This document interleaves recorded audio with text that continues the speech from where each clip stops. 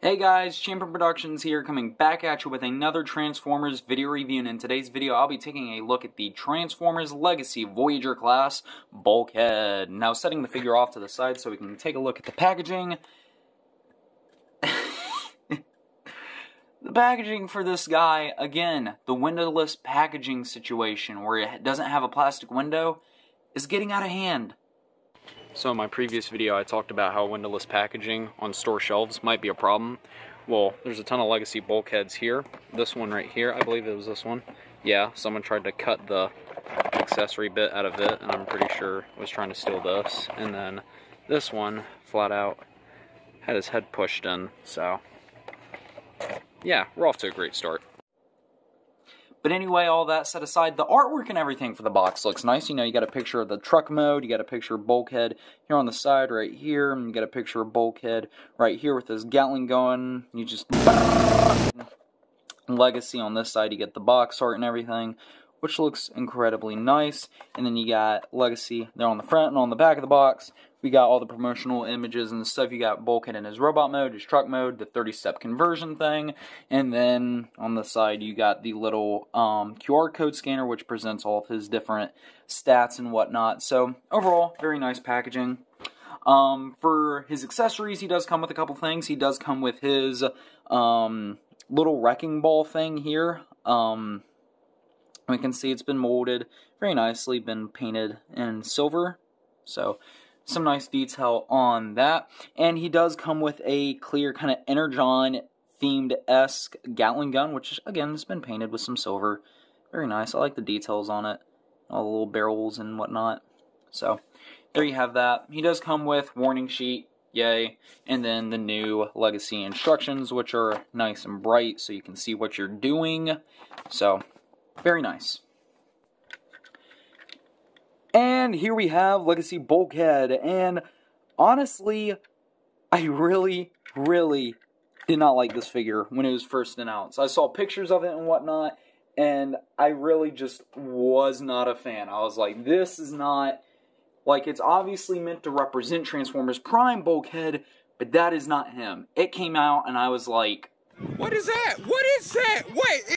Honestly, now having the figure in hand, I gotta say, it's good. I really do like it. You know, the overall aesthetic of the vehicle mode that we have here is supposed to be like this troop transport truck, and it works very well. I mean, they've done a very good job with it.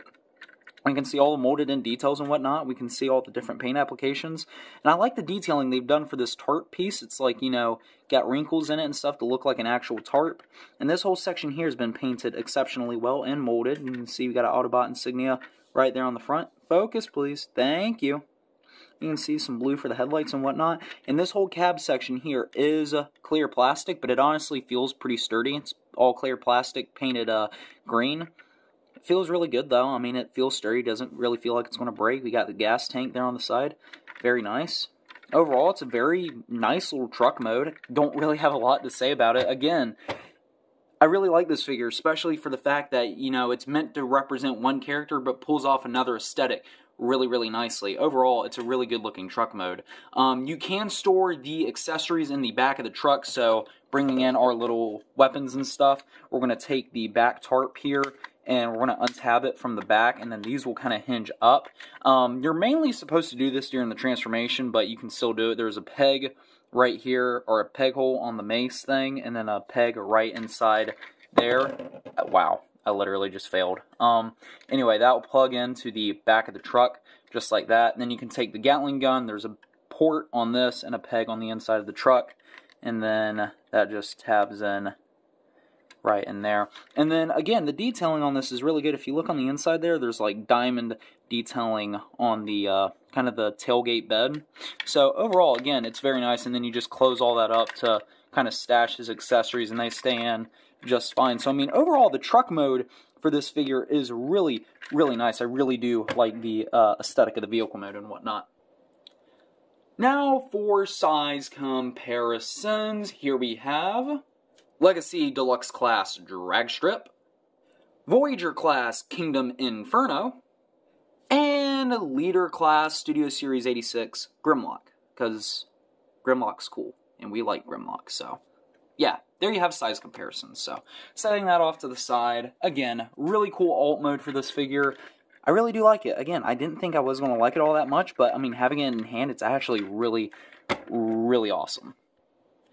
Now, the transformation for this figure is actually pretty sophisticated while remaining relatively simple. So to start off with, if you haven't already, you're going to go to, to the back here and remove the accessories. We're going to start off kind of how we stored the accessories in the first place. Just pull that up and untab it. And then if you have any accessories stored in the back, just go ahead and pull them out just like so. We'll set those off to the side. Then we're going to come to the back here and untab the legs from the rest of the truck just like so. And then what we can do from there is take the gas tanks and untab them from the thighs, just like so. Split the legs like that. And then we take the feet, fold them down, push them forward, and they will untab from the back of the truck, just like that. We can go ahead and straighten out legs here. And then open up these panels here.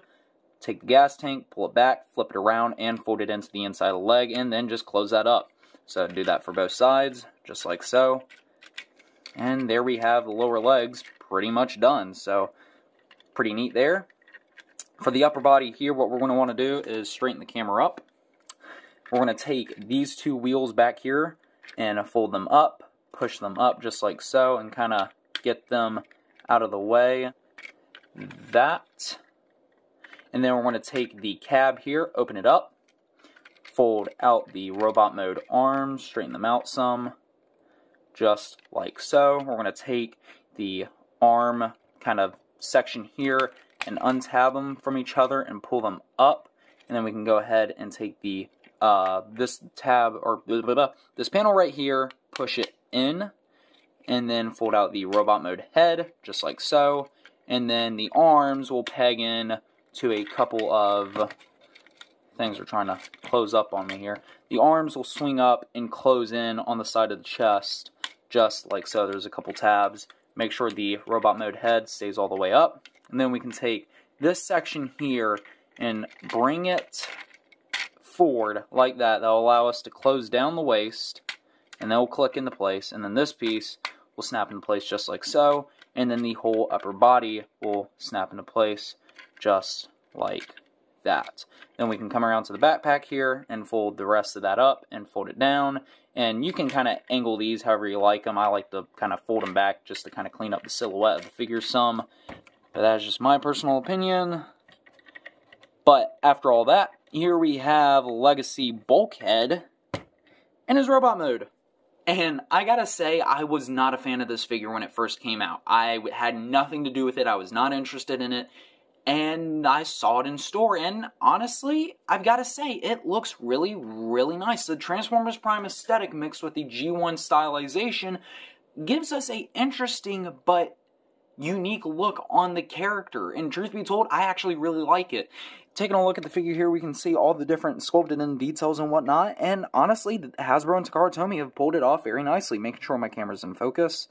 We can see everything is done incredibly well. Again, the overall bulky nature, of the character definitely does resemble Bulkhead, and I mean, they've got all the other details right for the character pretty much, and it just actually feels like Bulkhead while kind of adding a new twist to the character design. So straightening out the figure so we can go ahead and take a look at the details, see what we got going on here. We can see some nice shin details and whatnot. We can see some nice silver there on the knees. And on the thighs there's some nice molded in detail. The arms here and the fists have been molded and sculpted very nicely. The chest obviously carries over from uh, truck mode here, but works really, really nice. If it would focus, please, be my guest. But we can see here all the nice little details and whatnot, and you got some silver there on the shoulders as well. And then the head sculpt for Bulkhead here actually looks really, really nice. It, it's Bulkhead. It, it looks really good. All the silver and the blue for the eyes and whatnot, making sure my camera stays focused. You can see very nice head sculpt for the figure. Overall, I actually am really impressed with how they managed to pull this off. Now, for accessories, there is a couple ways you can store the accessories on the figure. Well, I say store, but how he can hold them. Um, his wrecking ball sort of deal actually is mounted to the figure very uniquely. First off, we're going to just split it in two and attach it to this arm right here. It will not peg into this arm. At least I wasn't able to get it to. Because uh, it looks like the peg is, yeah, the peg is shifted to one side so he can use it in one specific hand. And we just peg it into his hand just like that. And then we close up the back of it to give the full kind of um, aesthetic of the wrecking ball setup. And it looks really nice. It really, really does. And then for the Gatling gun here, he can either hold it, you can plug it into the side of his arm, or it does have two little pegs sticking off the side, and there is like a little peg hole right here. And what you're supposed to do is shoulder mount it like that, but it leaves you with virtually no articulation for the thing, and it likes to fall off with no effort. So, I mean, it is an option if you do so choose. Yeah, no, forget that. Um, and then one other thing I do want to talk about is that this whole back assembly here does come off on a little peg. We can see there's a peg right here and a peg hole, and this whole thing can become like a riot shield for bulkhead, which I actually really like. There's a little peg that folds out right here, and you can attach it a ton of different ways. You can attach it onto his arm like this if you want, you know, kind of get like a full-on, you know, riot shield look for Bulkhead, which I actually think is really cool and kind of suiting of the character, you know, have this big, heavy set um, tank of a guy set up with a riot shield, and I actually think that looks really cool in of itself. So you got some options with the figure. And the articulation for this figure honestly caught me off guard. It's actually really, really posable. Starting off here at the head, the head is on a ball joint, which kind of allows for like a little bit of up movement. You got some down. You Oh, you can't really get a full 360 just due to how the head's designed. It won't move past this back bracket. But the arms have some good posability. You got some outward movement. You got full 360 rotation. You got bicep swivel, well over 90 degree elbow bend. Pause the video Pause the video. Hi, post editing Champion Productions here. I completely forgot to mention he has a full 360 wrist swivel. My bad. Enjoy the rest of the video. Waist articulation, you got a waist swivel um, that rotates full 360. You got forwards movement at the leg. You got backwards movement, which if you move that shield or just take it off altogether, it can move all the way back. You got outward movement at the leg. You got thigh swivel, a good, uh, well over 90 degree um, knee bend there, and then the feet actually have a ton of articulation, which caught me off guard. You have a really good ankle tilt, and then you got forward and backward movement as well. So, I mean, truth be told, this is an extremely posable figure. So, you can pull off some really cool action stances, and I actually find it really enjoyable to kind of pose him because he's got a really sturdy platform due to how big his feet are. So, you got a really sturdy platform to kind of pose this figure around with. Really, really nice. Now for the robot mode size comparisons. Here we have Legacy Deluxe Class Dragstrip, Kingdom Voyager Class Inferno, and Leader Class Studio Series 86 Grimlock. Man, that's a good looking figure. But anyway, just to give you a couple size comparisons, there we have that way. Say a couple, just three different size comparisons. But anyway, that aside, I really want to see, now that I have this figure in hand, I really want to see a Legacy Prime Universe Wheeljack and Cliffjumper. If we could get Bulkhead and Wheeljack and Legacy, that'd be awesome. Uh, I really want to see how that would turn out. But it'd be awesome if we could get Wheeljack and Cliffjumper and Legacy. I just gotta say, those are like some of my top favorite characters in Transformers Prime. Transformers Prime is like my favorite Transformers show, like of all time, hands down. I love it. It's like my version of G1. I just I think it'd be really cool to see uh, Cliffjumper and Wheeljack in a legacy style. Um, I think it'd be really interesting. So there you have that. So overall, what are my official thoughts and opinions about Legacy Bulkhead? Overall, he's an awesome figure. I really, again, I've said it over and over and over again, but I was not expecting to like this figure. I did not like the fact that they were mixing Transformers Prime aesthetic with kind of a G1 style. But after seeing it in person and having it in hand, I've got to say, it's an awesome figure. The aesthetic works really well. It gives off the bulkhead aesthetic while giving a G1 style spin to the character. It looks really nice. The transformation, honestly, is quite involved but remains simplistic. And the vehicle mode that we end up with, honestly, is really cool looking. And they did a good job overall with this figure. Do I recommend it? Yes. If you're a Transformers Prime fan, yes, yes, yes. This is just an awesome figure in general.